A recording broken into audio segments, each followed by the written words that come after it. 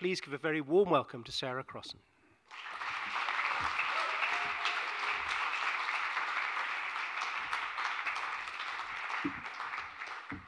You know, and you're kind of sitting there and you're thinking, my story would be best told to my therapist in the morning. I'm not, and I'm tr- desperately trying to think of another story, but I think I'm just going to say what I came to say, which is I came from a family um, where we weren't kind of a bookish family, um, and I, in, to some extent, don't feel that I uh, deserve a place on this stage. And it's, um, I'm going to, so I'm going to talk about my psychological traumas for a little while. Um, I, came, I, I was from an Irish Catholic family, so um, storytelling is the thing in, in big Irish families, um, and quietness is not a thing. Um, but I didn't know how to get any attention. I was from this huge, big family, um, and I thought if I'm really, really quiet and good, I will get some attention. I will be noticed for being really, really good. Um, and I remember taking a journey um, from Tottenham in London to Manor Cunningham in Letterkenny, County Donegal. And when I started that journey, I was in the car with my whole family.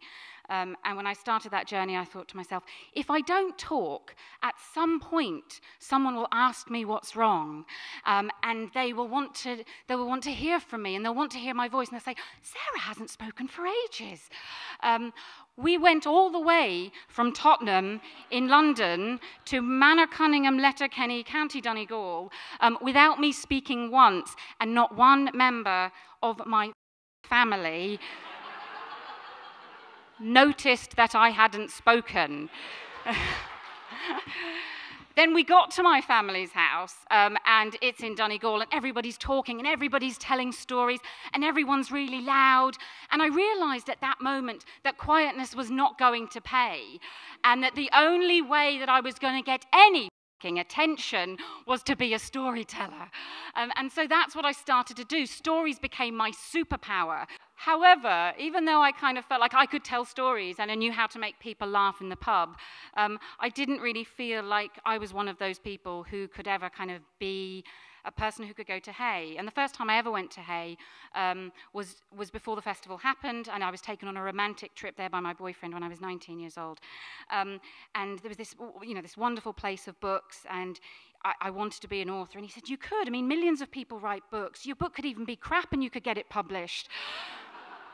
Um, and I didn't even think that a, crap book that I would write could get published. I ended up doing teaching, and I loved teaching because I got to talk about books all the time. I got to entertain young people all the time. Um, and I was teaching a lesson, and a student said, I was teaching a lesson about, like, live your dreams. You can be anything you want, man. Um, and then a student went, Have you always wanted to be like a teacher? And it's like rude. But it was a valid question, and I said, no, I've wanted to be a writer. And the student said, well, you've got a cheek then telling us to live our dreams if you've not gone and lived your dream, um, which was really a, a, a, lovely thing to say. And from that, I went and I applied to do a master's degree, and I went and I did creative writing. Um, and um, when I was doing my creative writing degree, it was the first time I went to Hay Festival, um, and I went to see all these writers um, so I could be inspired by these authors. Um, and I went as a steward, um, and uh, you know, in my high vis vest. And I went to see uh, Ian McEwan, who was a I was a big fan of his work, and I, I, he was signing my book, and I'm in my high vis vest, and, and I'm like going, oh yeah, like I really want to be an author. And he goes, mm-hmm. And, you know, and then uh, he looked up at me and he could see my face, that I looked devastated, and he said, maybe you should come back as one then. Um, and that really stuck with me, and I thought, I'm not coming back to this festival unless I come back as an author. And in 2015, I, it was the first time that I went to the Hay Festival as an author. And it was this moment in my life which um, I remember as being absolutely horrendous because um, I was told I was doing a poetry event because I write, I write novels in verse and I also wrote, wrote a book um, about the transformative power of poetry. And I was told I was going to speak to students about poetry. I thought, yeah, I'm going to go, like, go and talk to them about poetry. Um, and it said on the thing that there was sort of um, eight, 80 students that I was going to speak to. So I thought it was going to be kind of a highbrow event about me talking about poetry. And they said, oh, no, that's a typo. You're speaking to 800 kids. And I went, oh, God, like I have no entertainment. Because um, you, you know, I wanted to be able to... Uh, hold the audience. Um, and the worst thing about it was not only did I have to kind of entertain these 800 children, but before I went on, they had a comedian on in front of me. And then they go, and now welcoming to the stage, I want to roar for Sarah Crossan! And I come on going,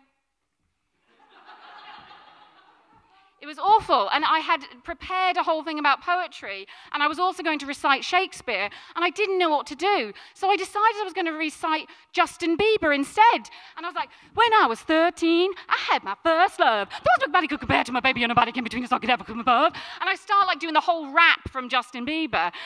It was like the most awful moment of my life, but also the most incredible moment of my life because the whole audience stands up, 800 children, they're going, yes! I'm like, yeah. Like, totally down with the kids. And then that night, as though my day couldn't have got any better, when I went to the B&B, the woman said, Sandi Toksvig slept in that bed last night. and it was the best time of my life. But um, one of the most lovely moments of that day was really when a student came and I was signing the book, and she said, I hate books. And I went, Oh, but I really love Justin Bieber. but that was a lovely moment. And, and, and you get to communicate with people that you might not normally get the chance to communicate with. And I think that as a children's author, the festival brings all these children to the festival who might not otherwise get to experience books, who live in areas where authors may not go out to visit them.